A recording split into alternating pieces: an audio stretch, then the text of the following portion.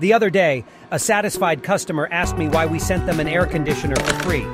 I told him that people who follow us and share our videos get a special gift. He was amazed and thankful because he now has two cool rooms in his house.